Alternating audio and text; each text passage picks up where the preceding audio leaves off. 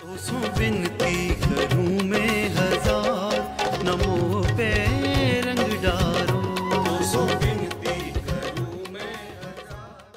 जय शिव राम आज होली है तो सबसे पहले आपको सभी को होली की हार्दिक शुभकामनाएँ। होली के विषय में एक कथा सारा संसार जानता है, वो है प्रहलाद भक्त की कथा। एक छोटे से बालक प्रहलाद के ऊपर अत्याचार इतने हुए उस जमाने में कि उसको जलाने की तैयारियाँ कर ली। होली का स्वयं प्रहलाद को अग्नि में लेके बैठी। हिरणा कश्यप की ये विचारधारा थी कि ये प्रहलाद जो मेरे शत्रु का स्मरण करता है, इसका अंत हो। तो उसका अंत करने के लिए हिरणा कश्यप ने अपनी बहन होलिका की गोदी में प्रहलाद को बिठाया। और अग्नि में उनको नष्ट करने की योजना थी।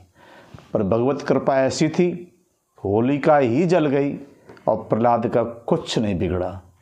तो इससे एक बात स्पष्ट हो गई कि अच्छाई जो प्रहलाद के रूप में थी, उसका कुछ नहीं बिगड़ा और अत्याचार और बुराई के रूप में जो होली का हृणा कश्यप थे, उनका ही सब विनाश हुआ।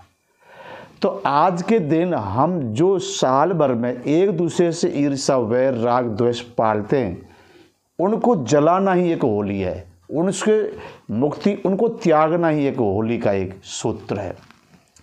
पूरे साल भर में जो जो मन मुटाप होते हैं ईर्षाएँ बढ़ती हैं, उनको आज के दिन हमें भूल जाना चाहिए। यही होली का एक प्रतीक है। होली हमको एक साफ़ सुथरा संदेश देती है कि जो पीछे जो भी बातें होली सबको भूल जाना चाहिए और हमको एक नई होली के साथ, रंगों के साथ रंगोली होली मनानी चाहिए। सब बैरबा भूल कर एक दूसरे से गले मिलकर और आज के दिन हमको ये सब बातें नए जीवन के लिए तैयार करनी चाहिए। यही होली का एक सूत्र है। तो